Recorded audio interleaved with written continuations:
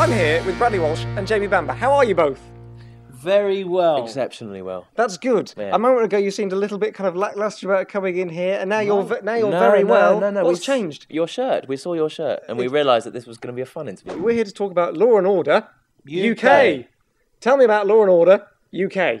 Well, it's like the old Law and Order, but set in the UK. In the UK, okay. That's I, I didn't guess that from the title. And you play the policeman. We do. And how did that work out? It's worked out well. Yeah, it's great. Actually, yeah, we I play obviously play the older cop. I mean, Ronnie Brooks is in his sort of uh, early to mid fifties. He's um, a reformed alcoholic. Has a been through, uh, had a couple of divorces, uh, a couple of daughters he very rarely sees, um, and She shoots, he scores. Um, no, I'm into. Uh, I love being a policeman. I love this guy. When Um, you say you love this guy, there's not some sort of sexual tension between Nothing- the two of No. you. Nothing. No, just an admiration. No, it's not Yeah. that kind of love. No. yeah, it's No. a deeper love than that. It's even d- even deeper than a romantic love. yeah, I think romantic loves are quite superficial. They involve rubbing and things. Okay. Deep loves don't involve touching. Okay, so you- there's absolutely no, ch- touching between the two. of you at No, we never touch. I think never. lots of your fans will be disappointed, Jamie. Will they? Mm. Get over it. You think so? Yeah. If someone was sat at home watching this now and they're thinking, hey, I quite like law, I quite like order, I'm not sure if I like the combination of them together, sell the show to them. It's it's it's like a chocolatey biscuit with a toffee taste too. It's two things in one. Um, if you like law, if you like a courtroom drama, if you like a police drama, put them together, and what have you got? Something better than both ingredients. You've got a caramelised biscuit. You've got a caramelized biscuit, and The law side of it would normally take an hour. The order side of it would normally take an hour. we do. It's all done, law and order, within the hour, which means the show is so fast, it's frightening. From corpse to conviction inside the hour. is that the tagline or is that just come from I your just brain? came, I just came up with that. But, I like that. yeah.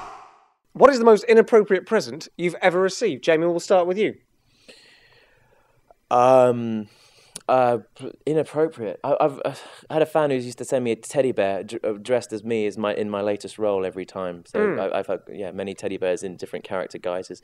I don't know what to do with that. Now, someone in our office said they used to wear a fat suit in one of the series. Is this true? In Battlestar, I wore a fat suit for a bit. Yeah, Yeah. Do you have a sort of a greater appreciation for the roles that Eddie Murphy takes on now? I do absolutely. yeah, no, Nutty Professor is now for me is is, is Hamlet.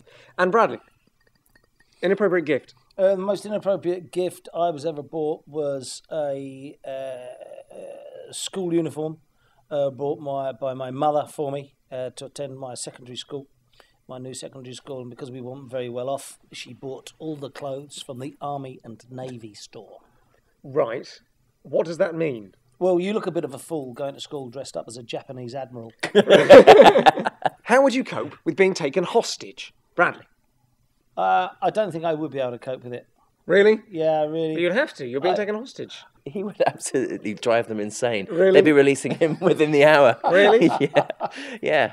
You reckon so? He'd, he'd clown them into submission. You say that you say that like you've spent Uh, so much time with him that I you have. are almost getting irritated by Bradley Walsh. Not I irritated. I can't imagine anyone Not getting irritated. by you, Bradley. no, I laugh so much, my, my, my diaphragm hurts. Really? And then I have to leave the room. Yeah. You've had to have I some soil surgery. myself.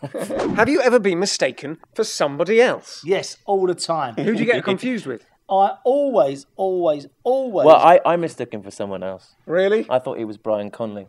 Really? yeah, everyone, everyone confuses me with Brian Conley. Is that because of the light entertainment thing? Because you did Look Wheel of him. Fortune. I like they- Little Wheel of Fortune. You're They- better than John Leslie. Where's they- he now? Hey, I, Brian. No, everyone confuses me with Brian Conley.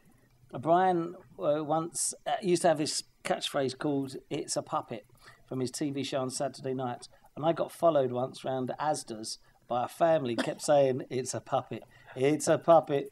Anyway, they said, "Would you mind sign?" They drove me mad. This family. Would you mind signing something? So I said, "Yeah, sure." And I got a piece of paper. I said, "Please, now, piss off. Lots of love, Brian Conley." That's brilliant. And that's it. And go. and so they were very happy with that. Well, thank you very much, Bradley and Jamie, for talking to me. Remind me welcome. when Law and Order UK is on. Mondays at nine. 23rd of February. From then on. I Be shall- there. Oh, don't. Uh, let's all wave to the camera now in a unified way. Oh. Come on, Bradley, join in. It's a very strange Okay, way. that's good.